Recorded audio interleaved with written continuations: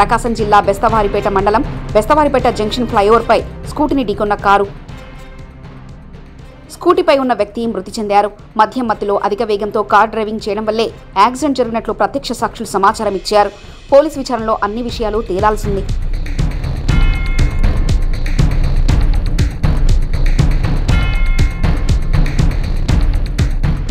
ప్రకాశం జిల్లా బెస్తవారిపేట మండలం బెస్తవారిపేట జంక్షన్ ఫ్లైఓవర్పై స్కూటీని ఢీకొన్న కారు. స్కూటీపై ఉన్న వ్యక్తి మృతి చెందారు. మద్యం మత్తులో అధిక వేగంతో కార్ డ్రైవింగ్ చేయడం వల్లే యాక్సిడెంట్ జరిగినట్లు ప్రత్యక్ష సాక్షులు సమాచారం ఇచ్చారు. పోలీస్ విచారణలో అన్ని విషయాలు తేలాల్సింది